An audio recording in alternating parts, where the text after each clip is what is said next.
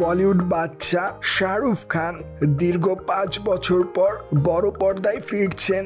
মূলত আগামী পঁচিশ জানুয়ারি মুক্তি পাবে শাহরুখের আপকামিং সিনেমা পাঠান।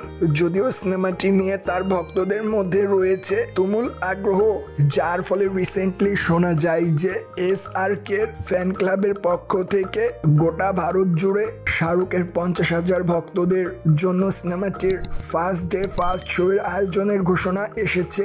মূলত এই বিষয়টি নিশ্চিত করেছেন ফ্যান ক্লাব এস আর কের ইউনিভার্সের সহ সভাপতি মূলত তিনি জানান, তারা ভারতের দুইশোরও বেশি শহরে পাঠান সিনেমার শোয়ের আয়োজন করবেন। শুধুমাত্র এই শো থেকেই ন্যূনতম এক কোটি টাকা বুকিং আশা করা হচ্ছে, যার ভেতরে মুম্বাইতেই প্রথম দিনে সাত থেকে আট এবং দিল্লিতে ছয়টি ফার্স্ট ডে ফার্স্ট শো এর আয়োজন করা হবে। মূলত একইভাবে দেশের আরও শহরগুলোতেও একাধিক শো এর আয়োজন করা হবে। তবে এই উদযাপন শুধুমাত্র পাঠান সিনেমার মুক্তির প্রথম দিনই হবে না, এটি চলবে প্রজাতন্ত্র দিবসের সপ্তাহান্ত পর্যন্ত।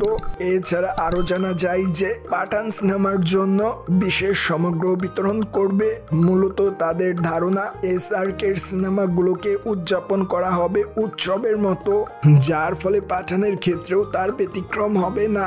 সো ভিওয়ার্স জেনে তো নিলেন, প্রথম দিন পাঠান সিনেমা দেখবে শাহরুখের পঞ্চাশ হাজার ভক্ত। আর এ বিষয়টি নিয়ে যদি আপনাদের কোনো মতামত থাকে, তাহলে অবশ্যই আমাদের কমেন্ট বক্সে জানাতে ভুলবেন না। And subscribe our channel for more update